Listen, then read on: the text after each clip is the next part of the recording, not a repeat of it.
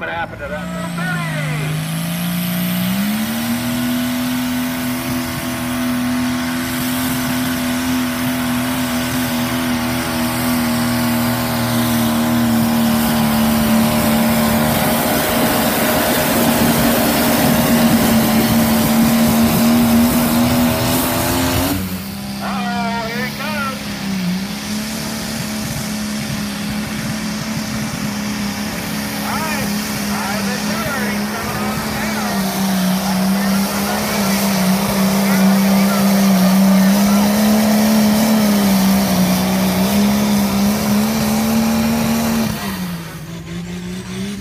Quarterback, shot, got hurt.